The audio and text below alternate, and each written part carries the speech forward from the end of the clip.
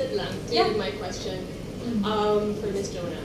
Um, so you're in a very male-dominated um, industry, and Yeah.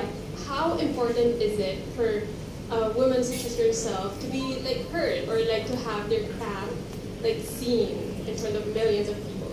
Okay, before I answer that, can I add to what Miss Jonah said? Sure. So it is the it seems like it's the fastest growing um, collagen drink, but actually, I was asking Jonah the other day. She's been around for ten years, so she hasn't. She's not new to the game. Like she's been doing this for a while. So I feel like now it's finally paying off, and people are finally acknowledging what she's doing. But there was ten years of hard work leading up to this moment. So that's what people fail to recognize or fail to see in all of our journeys. And I think this is related to what I'm gonna answer to you also.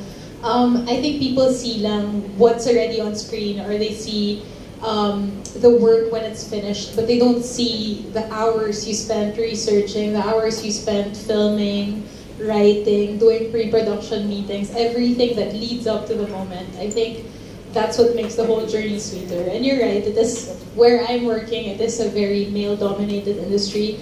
And there are so many days I feel discouraged. Like I feel like you're given a seat at the table, but they're not actually listening. So I let my work speak for itself. So I deliver results. I think, and that takes time. So, yun, I think, um, I think if I could give a tip to whoever's listening out there, you know, really just make sure you're doing the work right and let your work speak for itself. Wow.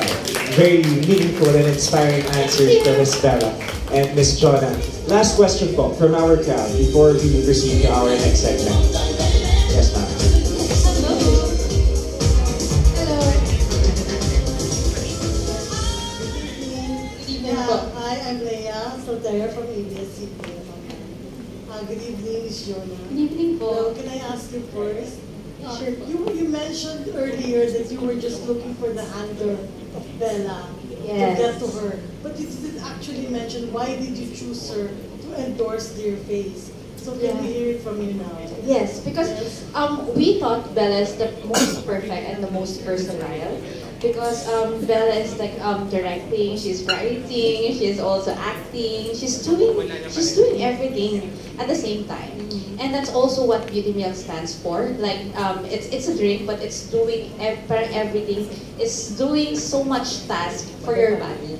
So I think um, because Bela also value um, and um, um, Bela is also an advocate of um, being healthy.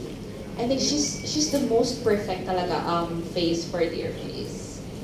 Thank you. Yeah, can we hear from Bela? How did you feel when Dear Face got to you to endorse? Okay. Hi, Miss Leia. Hello. Um, like I said earlier, I was super kilig. Um, I don't know kasi feeling ko, um, parang I feel like um, because Julia was the last endorser Yeah. introduced, I was thinking maybe, you know, it's the, these brands um, that are parang super big right now. I feel like they're more interested in the younger generation or the TikTok, the Gen Z generation. So I'm very flattered that I was tapped for this. I mean, I'm not old, but I'm also not as young as Julia. So um, I was very pleasantly surprised when my handler told me that I'm working with Dear Face. Nga, I've been seeing your billboards on EDSA for the longest time. So yeah, I was very excited.